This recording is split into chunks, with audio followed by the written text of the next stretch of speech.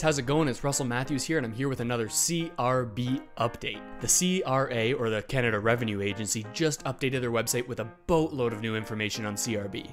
Most of the information we've got over the past days is still pretty accurate, but you're going to want to stay tuned because there's a whole bunch of information that has sort of slightly changed, so you're going to want to know exactly what's happening. Since they just updated it with so much more detail, today we're going to go through all of it on a surface level and talk about the things that have changed. The amount you're going to receive has changed a little bit, the frequency in which you're going to be getting that money has changed a little bit, and third, when you're actually going to receive it and what periods you can apply for has changed a little bit. So let's take a look. But before we dive in head first, if you're new to the channel, hey, how's it going? It's nice to meet you. My name is Russell Matthews, and I post videos about business and finance and investing and a little bit about real estate and a lot about personal finance and how people can set themselves up to live a better future. If any of that sounds remotely interesting to you, make sure to click that subscribe button and you can follow along with us. If you want to stay up to date with everything that has to do with the CRB, make sure that you hit that notification bell too, because over the next couple days, we're going to dive into some of the specific sections and over exactly every little detail of it.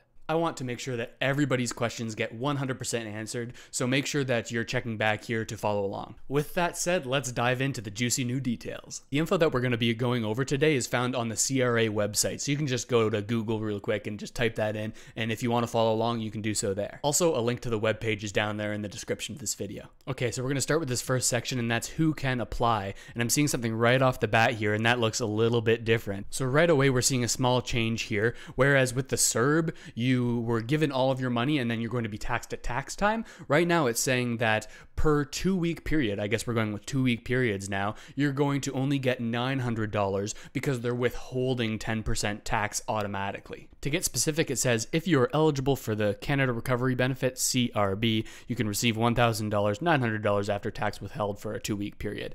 It makes sense. You might be bummed that you're not actually seeing the full $1,000 in your account. I mean, four digits is always more exciting than three, but all around, I think this is a good decision for Canadians. With all the economic uncertainty these days, I think the last thing Canadians want is to be slammed with a huge tax bill come tax time. And I think the government is sort of looking out for us in that way because if times are tight, you might overspend and not have the money to pay your taxes, which can snowball into an even bigger problem for you. So, all around, I think it's a pretty good thing. Next up, we've got eligibility criteria. So you've got to be eligible for all of these points in order to get CERB. So the first one, you've got to make sure that you weren't working for reasons related to COVID. You had 50% reduction in your average weekly income compared to the previous year due to COVID. We're going to uh, get back to that.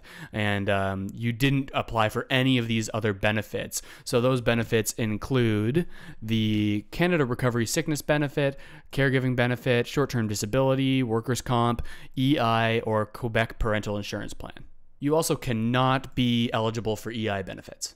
We went over this in a previous video, but if you're eligible for EI, you're not eligible for CRB. If you signed up for CERB initially with Service Canada, you'll be automatically moved over to EI, but if you signed up with the CRA for CERB and now you're eligible for EI because they've expanded the boundaries for who can qualify, you're going to have to go over to Service Canada and enter all your information there to make sure you're getting your EI on time. You also must reside in Canada. You have to be present in Canada. Okay, not sure what that means. You're at least 15 years old, you have a SIN number, and you earned at least $5,000 before deductions last year. That little bit about you were present in Canada doesn't really make a whole lot of sense, so I'm gonna have to look into that a little bit more, but it seems pretty general. Next up, it says you have not quit your job or reduced your hours voluntarily on or after September 27, 2020. That's big that they gave us that date. I'll go more into that in a future video, but that's important for the people who quit their job because their employers were making them work even though they were worried about COVID.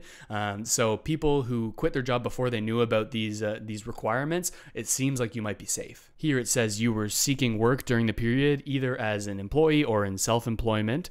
Next up, it says you have not turned down reasonable work in the period you're applying for, and you are not incarcerated in a prison or other institution. So, again, these are the broad points. So, we're going to dive more deeply into them in the days to come, but I just wanted to give you a general overview on what it takes to qualify. So here's something pretty interesting. It says that they're going to verify your eligibility. So the CRA is going to make sure that it's all good and that you haven't fraudulently been applying for the benefit. If they find that you've been cheating the system, it says there's going to be some penalties, maybe jail time. And look at that, they're even getting us to snitch on each other. That's probably a good thing. The next page we're going to look at is how much you can get. So this is going to determine how many periods there are, how much money you're going to get per month. Probably going to talk a little bit about that 10% tax withhold too. So it looks like we have a quick recap here. They're just saying $1,000 per two week period, um, but not $1,000 because they're going to withhold 10% tax. So you're going to get $900 per two week period for a total of 1800 bucks per month. Here's an interesting point. This is saying there's going to be an impact on your taxes. The 10% might not be all the taxes you need, so you might need to pay some more on top of that. The good thing is the CRA is trying to make it easy because it sounds like they're going to mail you a slip that tells you exactly how much you got from CERB and how much you got from a CRB or the other benefits. So you're going to know how much you collected and potentially how much you owe depending on what tax bracket you're in. This next section is something that I think is pretty good for the bill, and it's about how you are going to need to pay back some of the money if you make above a certain amount. We got into it a little bit in the last video of some examples examples, so you might want to check that out right here. We have a little section in there. It's about in the middle of the video, so you can check that out for an example to see how to calculate this. In basic terms, you're going to have to reimburse half of a dollar for every dollar you make over a $38,000 limit on your income tax return. Some basic points about this you're not going to need to include the benefit money that you receive. That's only money that you make over and above the $38,000 uh, that you make only at your job, not from a benefit. Very soon, I'm going to release a video on the nitty gritty on how to calculate this stuff and a bunch of different examples. So hit that subscribe button to stay tuned for that so you'll know exactly how to calculate if you're going to need to pay back any of this money based on how much you work and how much you make. The next thing we're going to talk about is eligibility periods. And these are the two week segments of the month where you're going to have to re qualify for these benefits. Now, depending on how you're working and what's happening in your life, you could go back and forth between qualifying or not. So the CRB doesn't want to send you money every single month automatically because things could change and you could forget to update it. That means every single two week period, you're going to have to go back and click yes yes, yes, I want to accept my money, or no, if now you're not eligible. The most interesting point here is that the 13 periods do not have to be taken consecutively. You'll see here it says it can go anywhere between September 27th, 2020 and September 25th, 2021. So you have 26 weeks out of the year where you can apply for this and get it. Uh, so you're going to have to make it stretch for about a year now depending on if you're working or not, people might want to uh, sort of strategize when they take it. Maybe take it for one two week period, then the second two week period, don't take it because then you're going to get $1,000 per month every single month. Or I guess with the tax withhold, you're going to get $900 every month. So if you're working and you just need to supplement your income, that could be a good strategy for you. But on the other hand, if you're out of work right now and you really need the money, it's okay to apply for every single period with hopes that you're going to be able to make something work half a year from now. And now we finally have some information on when that first period actually is and when you're going to be able to get your money. The first period is September 27th to October 10th, so that's going to be retroactive. Once you apply, you should be able to immediately get this money into your account within one or two days. I'm glad that they started this back then because this is when the bill was actually supposed to be through if there weren't all the delays that we've talked about in previous videos and the prorogation of parliament and all of this. So I'm glad that they're making it retroactive. As of right now, all signs point to the opening of these applications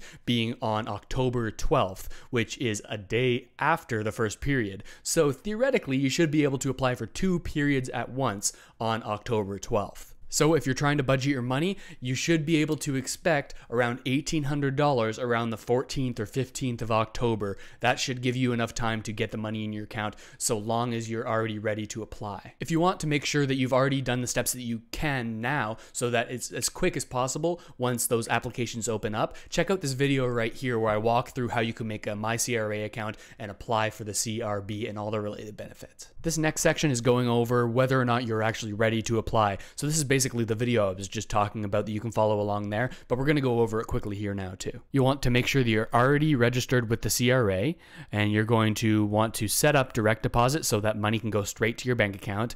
And also you're going to want to make sure that it's not impacting any of your social assistant benefits if you're getting those right now. And here's an interesting detail. It says applications not open. Details about when and how you can apply will be available on October 12th, 2020. Hmm. Maybe I'm just a pessimist, but this is a little bit concerning because it says that you'll only have the details on when you can apply on October 12th.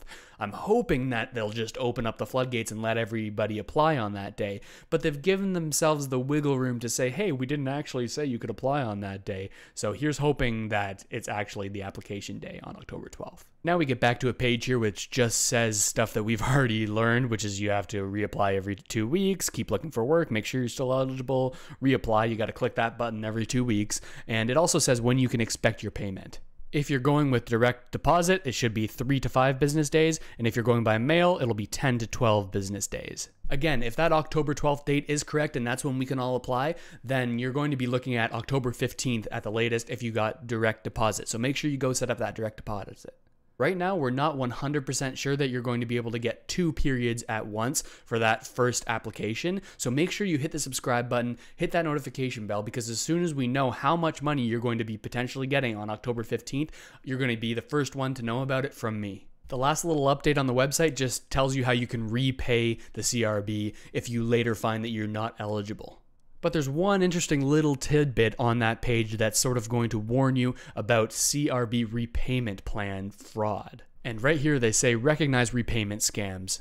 And you can check out the link right here to protect yourself against fraud. I'm so glad they included this on the webpage because there was a lot of Canadian emergency response benefit fraud that was going on where people were getting money that wasn't theirs, people were being asked to repay, and then they sent that money to a scammer. So, absolutely awful. The worst part is they tend to target the elderly, so if you have any older parents or grandparents, make sure that you get in touch with them and say, hey, I just want to talk to you a little bit about this to make sure you don't get scammed. That pretty much wraps up the boatload of new information that the CRA has given us. I love it because now we're able to get specific. There's still a couple question marks though. Based on some of the comments I've gotten in the past, I know there's going to be a lot of people who are pretty pissed if they can't expect their money there at least on October 15th. If they end up announcing that's only the day where they have details about how you apply or what day you apply, I could see some pretty angry people out there. But let me know what you think. Do you trust the government that they're going to be able to actually let you apply on these days that we're all expecting? Or are they just going to drag the carrot further, further, further away from us and say, hey, it's coming, it's coming, apply a little later?